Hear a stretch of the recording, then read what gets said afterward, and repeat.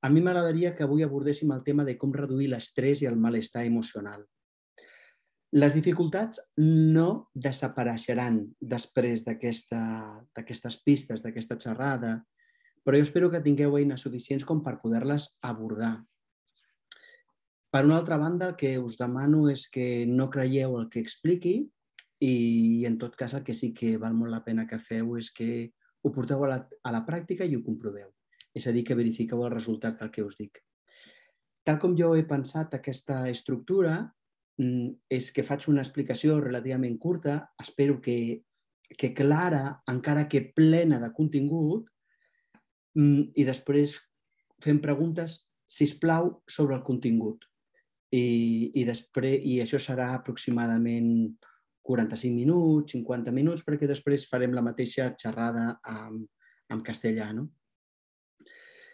Mm, jo crec que hi ha un, un, un gran error amb el tema del, de l'estrès i del malestar emocional, un gran error que és el que voldria començar parlant, i és que la gent, nosaltres hem normalitzat el patiment. Quan la gent està estressada li sembla que és normal. I jo crec que hauríem d'entendre que és habitual, però no és normal.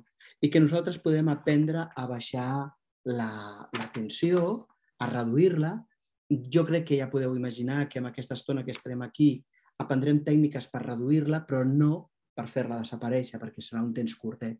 Igualment, si aquest temps que nosaltres dediquem aquí ens serveix per reduir un 30% la nostra tensió emocional i el nostre estrès, jo crec que seran els 45 minuts més ben aprofitats d'aquest any. Ara, l'altre dia parlava amb una, amb una persona que es dedica a temes de, de comunicació i aquest tipus d'històries. Em va dir, ah, fas un webinar, doncs mira, els webinars tenen aquestes parts, no sé què, fas els seminaris online, tenen aquestes parts. Diu, primer fas la introducció, que és el que acabo de fer, i ara després et presentes i tal. No, no ho faré. No, no em presentaré, no... Prefereixo que el que expliqui parli per mi. I si alguna persona dels que esteu aquí doncs, no em coneix, sap que pot anar a la meva pàgina web, danielgavarro.cat o danielgavarro.com, investigar per allà. Però jo crec que és molt millor, en lloc de fer autobombo i autopublicitat és anar, és anar per feina. A mi m'agradaria començar amb, amb quatre errors més que s'afegiran a aquest de que hem normalitzat el patiment. El patiment no es pot normalitzar. És a dir, si a mi em fa mal la panxa, jo no he de dir que és normal que la gent li faci mal la panxa. Doncs si jo tinc estrès o malestar emocional, no puc dir és normal i m'aguanto.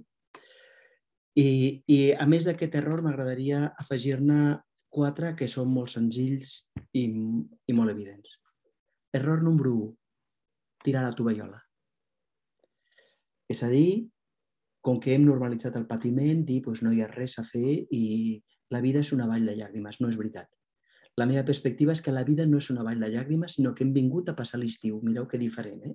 Hem vingut a passar l'estiu. Aquest seria un error. El segon error seria confondre les causes de l'estrès exteriors amb les internes. Per mi hi ha dos tipus de causes molt diferents. A vegades jo tinc estrès i malestar perquè no em paguen prou, perquè treballo moltes hores extres, perquè resulta que a la feina, per exemple, em maltracten, perquè resulta que tinc una relació terrible amb la veïna de dalt que posa la música alta de 12 de la nit a 6 de la matinada, etc etc etc. Bueno, les coses externes no s'han de confondre amb les internes. Mm, si et paguen poc, no n'hi ha prou amb estar en pau interior, estar en el sindicat i protestar. és a dir, que hi ha A, la banda política o la banda social i B, la banda interior. I confondre-les és un error. Avui nosaltres parlem de la banda interior, de com podem gestionar el nostre interior, però no estic dient que nosaltres no hàgim d'abordar l'exterior. Tercer error. Ignorar l'origen del malestar emocional. Ignorar l'origen dels sentiments desagradables que tenim al nostre interior. A l'escola no ens ho van ensenyar. Però ens haurien d'haver ensenyat quina és la causa que genera el que sento. I si em permetreu, abans de parlar del quart error, a mi m'agradaria explicar això, que ja forma part de contingut. Imagineu-vos que us entrego un paper i amb aquest paper és el teu nom i el teu DNI. I a més, hi ha el certificat de, de l'Estat, d'Hisenda i de no sé què més. I posa que t'ha tocat un milió d'euros. Tens el paperet, el tens davant teu, el teu nom, bueno, un paper oficial i posa el del milió d'euros. Què sents? Alegria. Bueno, alegria, eufòria, jo que si m'ha tocat un milió d'euros. Llavors et dic, no, no, fixa-t'hi bé, posa, mira aquí què posa. I diu, a pagar, a pagar un milió d'euros. Què sents? Impotència, frustració, tristesa. El que sento té relació amb el que penso. Si jo em trobo una persona, me la trobo pel carrer i no em saluda, i jo penso, pobra, va tan atabalada, sempre en tants lius, sempre tan preocupada que ni m'ha vist. Sento una certa empatia cap a aquella persona. Si quan veig una persona que pel carrer passa pel carrer i no em saluda i penso, ostres, dec haver fet alguna cosa terrible. M'està ignorant perquè segur que segur que, que l'hem maltractada, que he fallat, el que sentiré seré culpa. A l'escola no ens ho ensenyen, però allò que jo sento neix del que pensa. Els meus pensaments generen el que sento. Per això és absurd voler canviar el que sento mentre continuo veient el món igual. Si jo sóc davant d'un animalet bonic, encantador, perquè penso que és un animal meravellós, i de cop i volta m'hi fixo una miqueta més i veig que és una serp d'aquestes verinoses. pues de cop i volta el meu pensament ha canviat i el meu sentiment ha canviat. A l'escola ens haurien d'ensenyar que el que jo sento té relació amb el que penso. Però hi ha una idea que és fonamental i és que ningú pot pensar per tu. No pots acusar a ningú del que tu estàs pensant la qual cosa significa que nosaltres ens hem de plantejar com, ens, com, com governem la nostra ment, com entrenem la nostra ment perquè els meus pensaments siguin sensats, siguin certs, però no em maltractin, sinó que em cuidin. Fixeu-vos que ara estàvem en un apartat d'explicar quatre grans errors, quatre grans errors. He parlat de tirar la tovallola, és un error. Normalitzar el patiment és un error. Confondre l'exterior amb l'interior és un error. Ignorar que el, el, el que jo sento ve del que jo penso i que per la qual cosa no he d'intentar canviar el que sento, sinó canviar la meva forma de pensar, aprendre a governar el meu pensament. Aquest és el tercer. I el quart error és gordíssim i la gran majoria de la gent el fa i no se n'adona. El quart error és lluitar contra l'estrès. Lluitar contra l'estrès, lluitar contra els meus pensaments, no funciona. Al revés, ho espatlla tot. Mireu, eh, intentar lluitar contra alguna pot funcionar al món físic. És a dir, si jo estic lluitant contra un gos que ha entrat a casa meva del, del jardí, doncs tiro una patada, obro la porta i el tiro fora. Amb força, amb violència, puc tenir resultats al món físic. Però el món psicològic funciona d'una forma diferent. Perquè el món psicològic, allà on tu poses l'atenció, allò es multiplica. Això és bàsic. Allà on jo poso l'atenció, allò es multiplica. El món psicològic funciona diferent del món físic. Llavors, un s'hauria de plantejar que quan un lluita contra un pensament, el que fa és fer-lo més gran. El que un s'hauria de donar és que quan un lluita contra un pensament no només fa més gran aquell pensament, sinó que en realitat fa també més gran el malestar que provoca la lluita. És a dir, sento que la meva vida és una lluita continuada i no entenc per què. Perquè jo ja estic procurant lluitar contra els, contra els pensaments que em generen malestar emocional, contra els pensaments que em generen estrès. Però és un gran error. Quan més lluiti contra els pensaments, més grans més gran serà el malestar al meu interior. De fet, mm, hi ha tota una línia de teràpia d'un senyor que es diu Stephen Hayes que parlen de que una teràpia que està donant extraordinaris resultats és la teràpia que li diuen de l'acceptació i el compromís. Una teràpia en la qual et conviden a no lluitar contra el que tu estàs pensant, però prendre el compromís de fer créixer el que vols créixer. I fixeu-vos que és exactament el que jo estic dient. No lluitar, però alhora focalitzar-nos en allò que volem que sí creixi a la nostra vida, perquè allà on jo poso la, la meva atenció, allò creix. Arribats aquí, a mi m'agradaria dir-vos que a partir d'aquests quatre errors, que espero, penso que s'hi han fet un marc prou clars, m'agradaria donar tres blocs més d'informació i a partir d'aquí nosaltres podem dialogar, fer preguntes i espero que sigui prou útil. El primer bloc d'informació que, que voldria donar ara és, molt bé, molt bé, Daniel, si nosaltres no, no hem de lluitar contra el cervell, però jo estic acostumat a lluitar contra el que no m'agrada, com puc reeducar la meva ment? Perquè estem educats al llarg dels anys que tot allò que no ens agrada hi posem interès, hi posem interès, posem l'atenció, lluitem contra ell.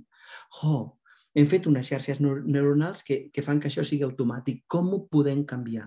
Com podem entrenar el nostre cervell per reeducar-lo perquè no posi l'atenció en el que ens disgusta, sinó que posi l'atenció en, en quelcom que sigui molt més útil pel nostre benestar emocional i en contra de l'estrès i alhora no signifiqui, no signifiqui que ens estem enganyant. Aquest serà el primer bloc, reeducar la ment. Un segon bloc, m'agradaria fer una reflexió sobre potenciar el benestar emocional i reduir l'estrès a partir dels nostres valors personals. Sí que tenim reeducar la ment i tenim els valors personals. Però com que nosaltres no som només mental, sinó que també som éssers biològics, éssers físics, m'agradaria donar uns pocs consells per posar la nostra biologia al favor, a favor del nostre benestar. Aquests seran els tres blocs que jo ara abordaré. Anem allà. Bloc número 1, com puc reeducar la meva ment?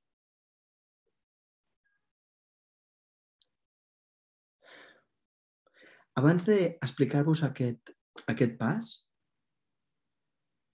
m'agradaria fer un previ perquè quan us expliqui els cinc passos per reeducar la ment, hi haurà un moment que us diré aquest previ que he explicat ara serveix per... Ara el podeu fer servir. Voldré que feu un previ. Voldré que us imagineu quan éreu petites, quan éreu petits, quan teníeu, no ho sé, mm, tres anys, per exemple dos anys, quatre. Si ara poguéssiu estar davant d'aquest infant que vosaltres éreu, d'aquesta nena, d'aquest nen, el podríeu abraçar ara i dir-li et cuidaré. Us podeu imaginar abraçant el nen o la nena que eres i dir-li no et preocupis, et cuidaré. No et preocupis, t'estimo. Jo vull que, re, durant uns segons, us imagineu a tu abraçant el teu nen de quan tenies dos o tres anys. Aquest és un exercici previ i ara el guardem com si estigués congelat. Eh? El guardem congelat. Això. Un cop que l'hem guardat congelat, anem als cinc passos per reeducar la ment.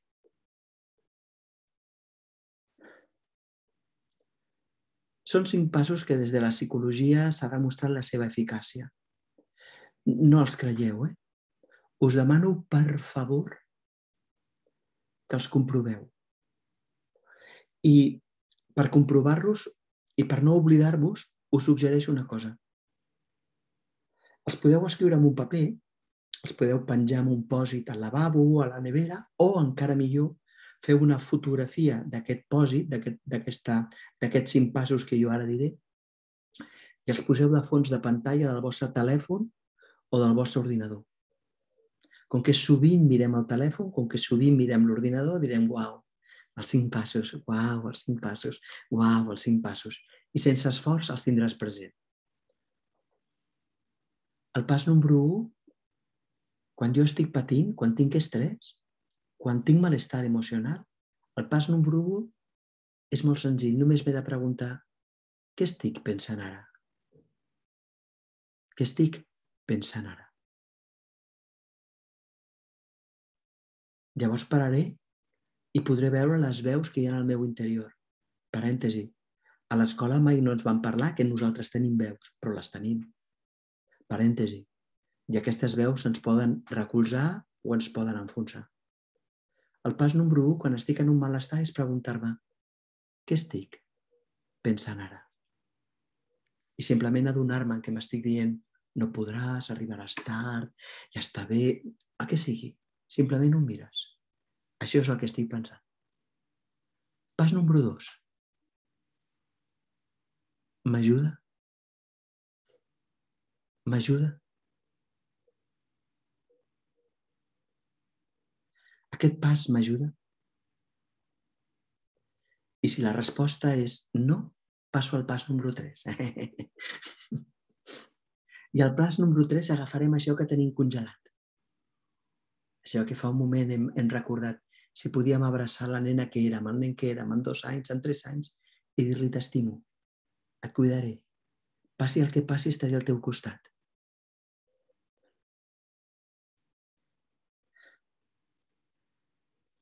Pas número 3.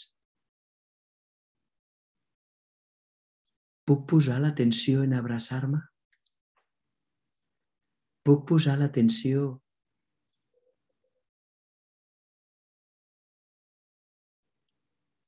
en cuidar-me? Puc posar l'atenció en mirar-me amb tendresa? Hi ha molta gent que quan arriba a aquest pas diu no, no és que no sé com es fa, no sé com mirar-me amb tendresa. Per això abans us he dit, us podeu imaginar quan tenies dos anys i t'abraçaves? Et pots imaginar la teva nena petita, el teu nen petit i abraçar-lo i dir-li, si te'l trobessis ara diries, oh, carinyo, carinyo, t'estimo, t'estimo, jo et cuidaré. Doncs pues això, aquesta és la mirada que hem de fer en el pas número 3. No es tracta de negar el que estem sentint. Es tracta d'adonar-nos que ens podem abraçar, simplement. Que em puc mirar d'una forma diferent. Que em puc parlar d'una forma diferent. Així que ja tenim tres passos del cinc. Què estic pensant? M'ajuda? Si no m'ajuda, puc abraçar-me? Que és la tercera. Anem al quart pas. Si això que estic vivint no ho puc canviar, Puc seguir abraçant-me? Si això que estic vivint no ho puc canviar, puc seguir abraçant-me? A vegades et donen una mala notícia al metge. Diuen, ho sento, però a partir d'ara tens diabetes. Ho sento, però a partir d'ara... I llavors pues, saps que és una malaltia crònica, és un, és un disgust. Què estic pensant? M'ajuda? Em puc abraçar? Si això no canviarà, perquè jo seguiré amb la meva diabetes. Puc seguir abraçant-me. Fixeu-vos que hi ha gent amb diabetes que és feliç. Per tant, no és la diabetes el que et fa feliç o infeliç, sinó la manera com et relaciones amb ella. Anem al cinquè i últim pas per reeducar el cervell. Si, si puc fer alguna cosa abans d'anar-me'n a dormir, per, per millorar això? La puc fer mentre m'abraço? Però fixeu-vos que, que, estic dient fins a l'hora d'anar a dormir. El de demà passa per demà, eh?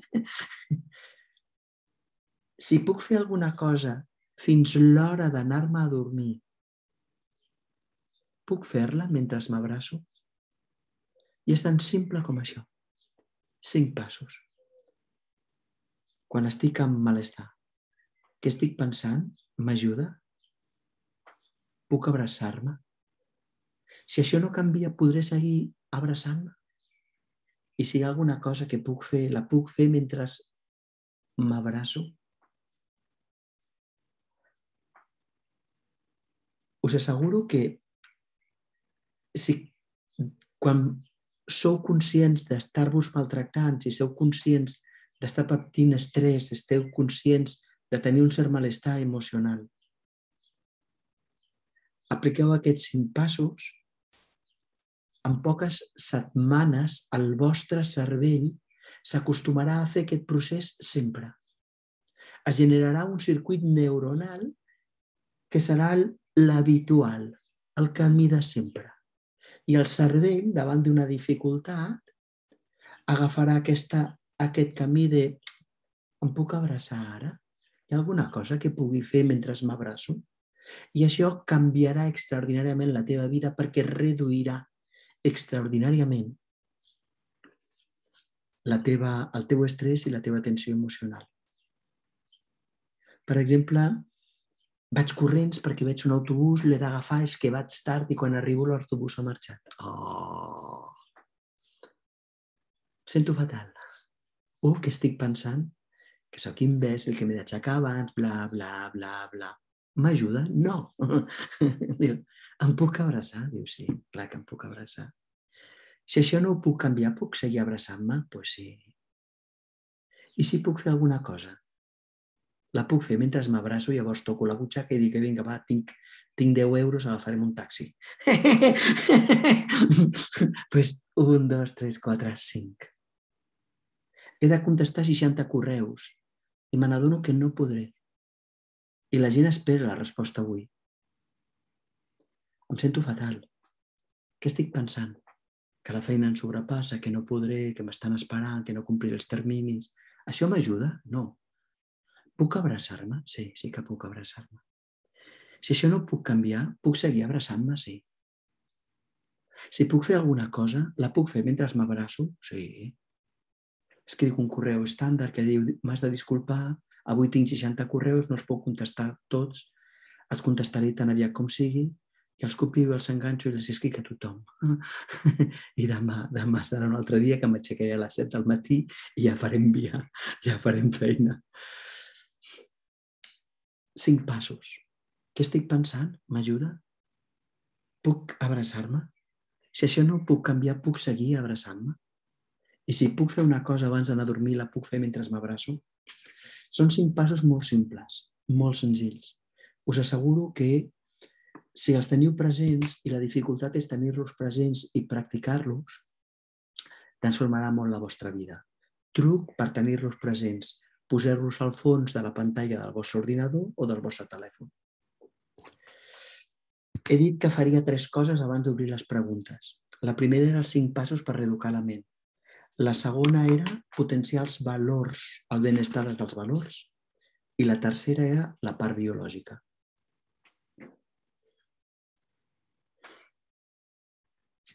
Anem a potenciar els valors. Us faig unes preguntes que haureu de contestar en algun moment. No sé si avui, si demà, durant la setmana que ve. Què és important per tu? Com vols tractar-te tu?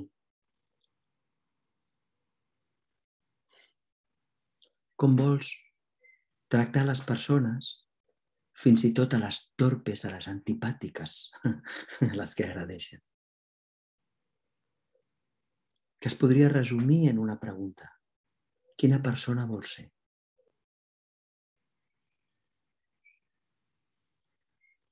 Un cop que descobreixis quins són els teus valors, quina persona vols ser, què vols expressar a la vida fins i tot quan la gent és antipàtica, ho faràs. Ho podràs fer en consciència. I quan ho facis, veuràs que estàs fent una cosa valuosa, estaràs expressant els teus valors. I quan expressis els teus valors, sabràs que no podries fer una altra cosa. Et sentiràs valuós. I de forma natural apareixerà l'autoestima. I de forma natural el teu benestar s'incrementarà. Perquè les persones que tenen autoestima, que tenen benestar, són simplement les persones que quan actuen, actuen des dels seus valors. L'autoestima neix de forma natural quan jo actuo mobilitzant els meus valors, perquè com que en ser valuós, sé necessàriament que sóc digne d'estima i l'autoestima neix de forma natural. Les preguntes, ja veieu, les podeu canviar, però aproximadament eren aquestes. Què és important per mi? Com vull tractar-me a mi? Com vull tractar les persones, fins i tot a les antipàtiques? Quina persona vull ser, no? Quins valors tinc?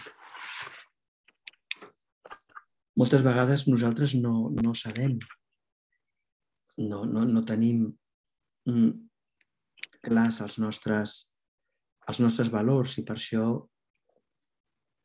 ens costa, no? Però si jo sé el que jo vull i actuo en funció d'això, la vida es transforma extraordinàriament. Anem al tercer bloc i últim. Perquè no som només éssers mentals, també som biològics. I hem de posar la biologia al nostre cervell. Jo us donaré cinc punts per si els podeu aplicar a la vostra vida. I després, si voleu, obrim les preguntes. 1. Dormiu i descanseu fins que estigueu descansats, fins que estigueu descansades. La pregunta és com sé si estic descansat? És molt fàcil. Si em desperto sense despertador és que estic descansat. I si no, doncs m'hauria d'anar a dormir abans. Diu, és que fan una sèrie a Netflix, doncs ja la faran demà passat. Ara amb la tele de per cable, doncs això, oi que sí. Hi ha un llibre molt interessant que es titula ¿Por qué dormimos? que és un estudi científic però explicat en paraules molt senzilles, que explica que gran part del nostre malestar neix perquè ens maltractem perquè no descansem prou. Tan simple com això, eh? Si al matí jo em desperto sense despertador, vol dir que estic prou descansat. Si no, plantegeu-vos a quina hora aneu a sopar, plantegeu-vos coses. Ja sé que és una tonteria com una casa, però és pràctica eh? i és real. La segona, en la mida del possible, estigueu a la natura, estigueu al sol. Aviam, la natura, la natura, la natura. Molts vivim en ciutats i no ens és tan possible. Doncs mm, surt al balcó, que vols que et digui, situat al porxo, que toqui l'aire, que, que vegis el cel. Passeja per un... Quan vas cap a la feina, baixa una parada abans del bus, si pot ser, i travessa un parc si és possible. Natura. Hi ha estudis científics que afirmen, que demostren que els banys de boscos, entre cometes, els banys de natura i el contacte del sol amb la pell produeix tota una sèrie d'efectes, entre ells vitamina D, etc etc que està íntimament vinculat amb el benestar. Per això als països nòrdics, a l'hivern, hi ha molta gent que ho passa fatal. I a Lleida, jo visc a Lleida, durant l'hivern, quan venen tres o quatre setmanes seguides de boira, sense sol, hi ha gent que emocionalment queda molt tocada. Llavors el que fem tot sovint és baixar la panadella a prendre el sol. Pues, pues ja està. Truqui de l'almendruqui. Ho dic perquè la ciència ho demostra. Punt número 3. Esport suau. Hi ha un estudi científic on a un grup de persones deprimides a la meitat li van donar una, una medicació, concretament Prozac, i a l'altra meitat li van fer fer tres dies a la setmana 45 minuts d'esport suau. Tres setmanes després, els dos grups estaven igual de bé. els dos grups s'havien millorat en la mateixa... No s'havien curat, no sé què, però tenien una millora important. Ull el que estic dient l'esport suau tres cops a la setmana és, sufi, és, té els mateixos efectes que un antidepressiu. Per tant, reduïm l'estrès, multipliquem el, el, el, el benestar emocional, esport suau. Vigileu perquè a Occident tenim una mirada de l'esport terrorífica. Sembla que maltratar-nos, fer, fer una marató i acabar lesionats tots plegats, això és fer esport. Jo dic esport suau. Aquell esport que jo el podré fer, continuar fent quan tinguin 89 anys pues això és el que he d'anar fent. Pim, pim, pim, pim, pim, pim. I està demostrat. Eh? Són cinc punts aquests biològics. El quart és molt senzill. Relacions humanes, contacte i joc. Abraceu, toqueu, deixeu-vos tocar. és un fet que la relació amb les persones, el joc, som animals, som, som animals socials. El contacte físic, les emocions, el pell en pell produeix una sèrie de, de reaccions hormonals biològiques que reequilibren el nostre organisme. I si us toca un poc, doncs aneu de tant en tant a que us facin un massatge. Però, per favor, abraceu en la mida dels possibles els vostres amics. És que pot semblar una tonteria, eh? Però riure una estona, abraçar-te, jugar, puf, cura, cura. Última, i última, i, i, i, i, i ja anirem pràcticament a les preguntes. Respiració. Respiració. Us suggereixo que poseu el despertador, el telèfon del mòbil, en un despertador que vagi a l'atzar al llarg de set vegades al llarg del dia. I quan soni, no cal que pareu amb el que esteu fent, però simplement poseu atenció en la respiració i respireu abdominalment. Ara mateix no cal que canvieu el que esteu fent, però us demano que respireu abdominalment. Ara mateix. Podeu Intentar respirar amb una certa calma però profunditat. Quan dic abdominalment vol dir que la panxa es mogui quan respiro.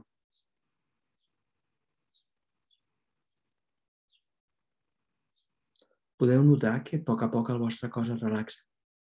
Podeu notar que amb el relaxament del vostre cos simplement per haver respirat omplim conscientment la panxa no només el cos es relaxa, sinó que la ment es relaxa.